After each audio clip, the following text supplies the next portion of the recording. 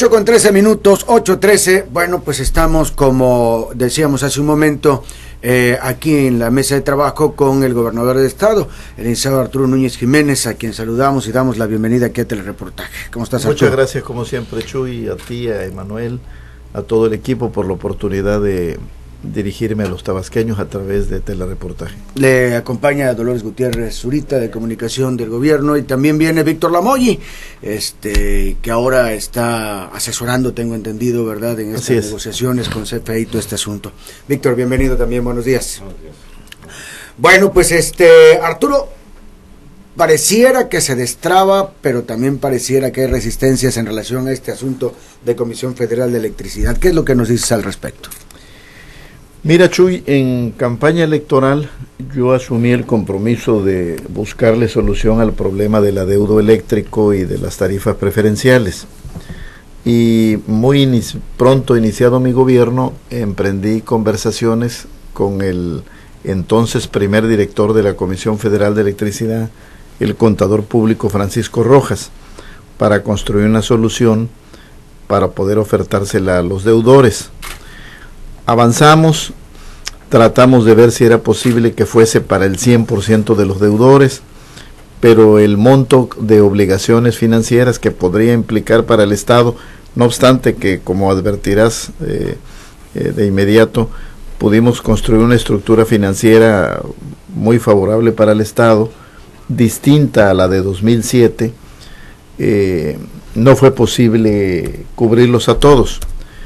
En ese momento vino el cambio del director de la Comisión Federal de Electricidad, salió el contador Francisco Rojas, llegó el doctor Enrique Ochoa y digamos hubo que reiniciar de alguna manera el proceso de negociación y desembocamos finalmente en la Secretaría de Hacienda y Crédito Público, que es la que determina tarifas, eh, en general precios y tarifas de los bienes y servicios del sector público y fuimos construyendo hasta llegar a esta solución de la que dimos cuenta precisamente hoy, hace ocho días, tanto el secretario de Hacienda, el doctor Luis Videgaray Caso, con motivo de su visita a Tabasco y tu servidor. Eh, eh, digamos, es una solución que para explicárselo lo más didácticamente posible a nuestro auditorio, yo la segmentaría en tres grandes grupos de beneficiarios de la propuesta. Quiero decir, como dicen los parlamentarios de previo especial pronunciamiento, que eh, yo advertí desde el inicio, eh, primero que el gobierno del Estado no era el deudor, los deudores son los usuarios del servicio eléctrico, tanto de consumo doméstico, comercial, que por diversas causas originalmente de índole política, pero después sobre todo de índole económica por el tamaño de las tarifas, dejaron de pagar en un proceso que se ha acumulado a lo largo de 20 años. Entonces, la primera premisa es el gobierno del Estado no es deudor, porque no faltó quien dijera pues que pague el gobierno del Estado, porque un poco había sido el esquema de 2007. Y en segundo lugar, también advertí que yo no iba a firmar un convenio en representación de los deudores. El, hecho de que yo comprometiera un apoyo del gobierno del Estado para resolver el problema, para apoyar a los deudores en primer lugar, para apoyar a Tabasco a su desarrollo integral en la medida que el sector eléctrico se nos ha rezagado, eh, no significaba que lo que yo asumiera obligaría a los eh, deudores sino que era la construcción de una oferta de solución a los deudores quienes en todo tiempo estarían en la libertad de optar libremente, de decidir libremente si aceptan o no aceptan este esquema. Es decir, no es obligatorio. Eh, creo que estas dos premisas es importante destacarlas. Eh, yo te diría que son tres grupos a los que se dirige de manera integral la búsqueda de la solución que construimos. En primer lugar, a los al grupo de los deudores que tienen un tope de adeudo acumulado de hasta 23.500 pesos.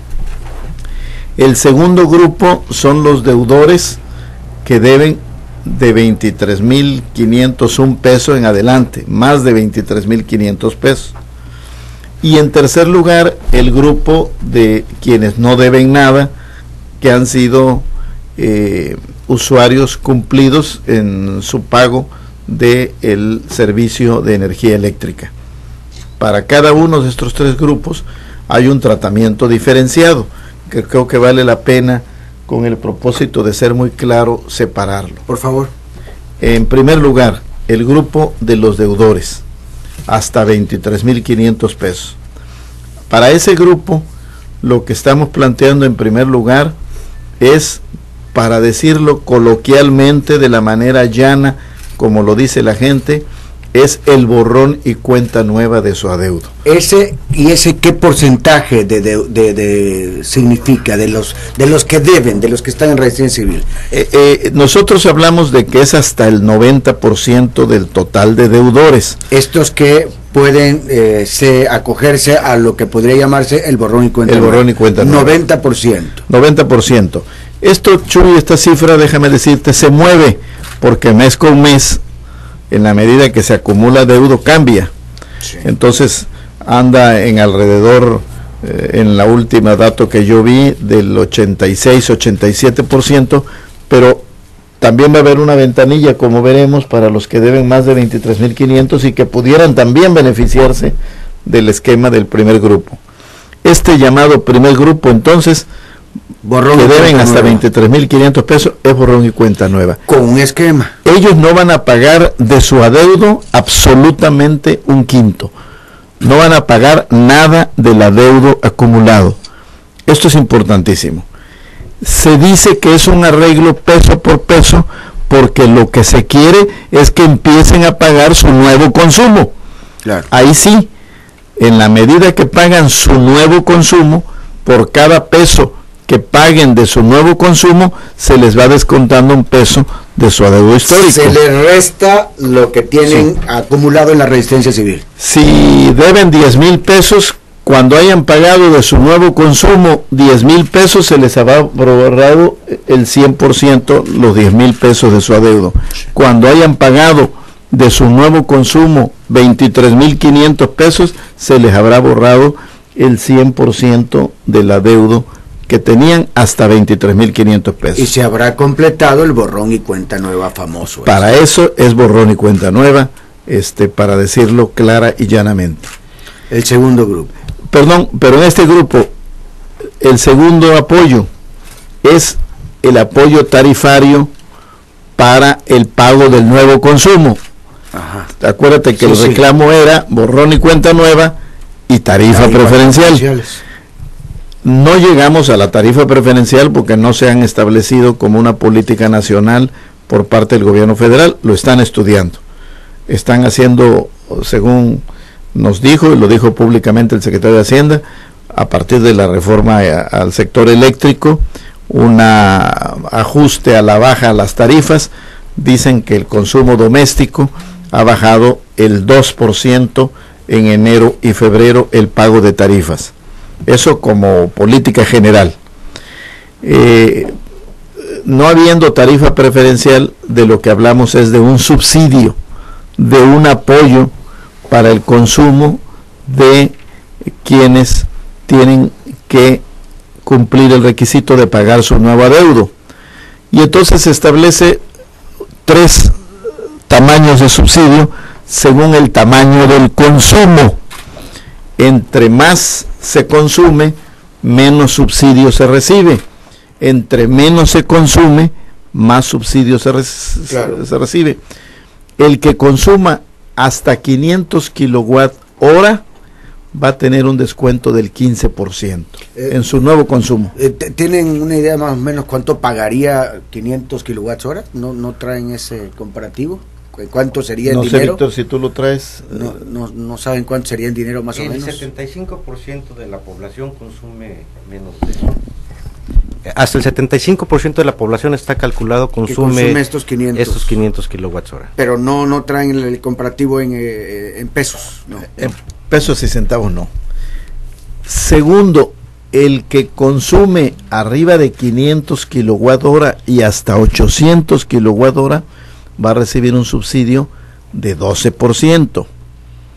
Y un tercer grupo dentro de este apoyo tarifario serían los que consumen arriba de 800 kilowatt hora hasta 1500 kilowatt hora van a recibir un subsidio de 4.5%.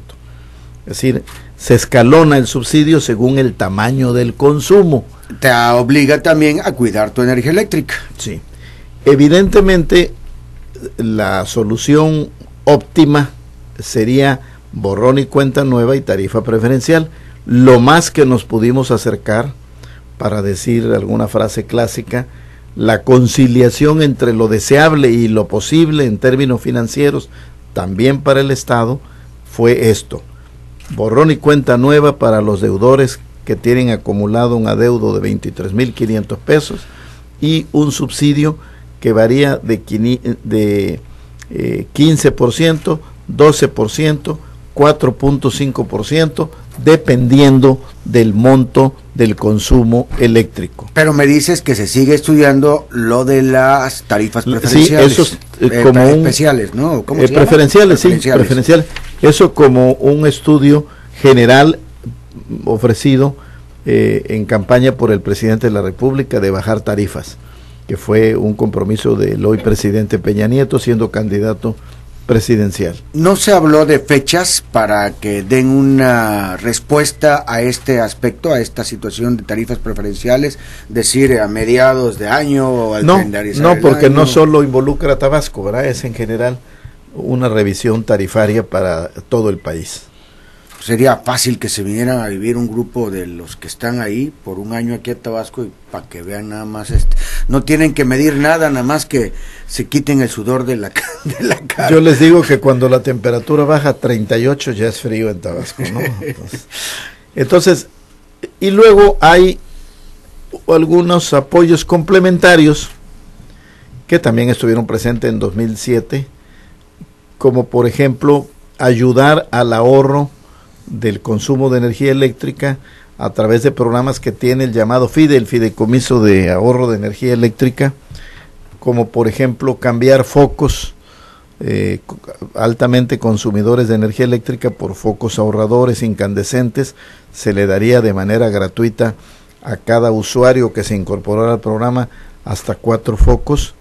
Y va a haber inversiones del orden en números cerrados, creo que son 1.460 millones de pesos, para mejorar la infraestructura eléctrica del Estado, porque un poco la CFE, al no recibir ingresos por el no pago, pues también no ha canalizado todas las inversiones que ha requerido el Estado para darle un buen mantenimiento a la instalación eléctrica estatal, a la infraestructura eléctrica. Que esa es la inconformidad de los que puntualmente han pagado su servicio. Y, que sería un beneficio para todos, este no hayan pagado si hayan pagado. Este es el primer grupo, este es el manejo del primer grupo. ¿Qué te parece si hablamos del segundo grupo después de esta pausa? Encantado. Ahorita continuamos platicando con el gobernador del estado.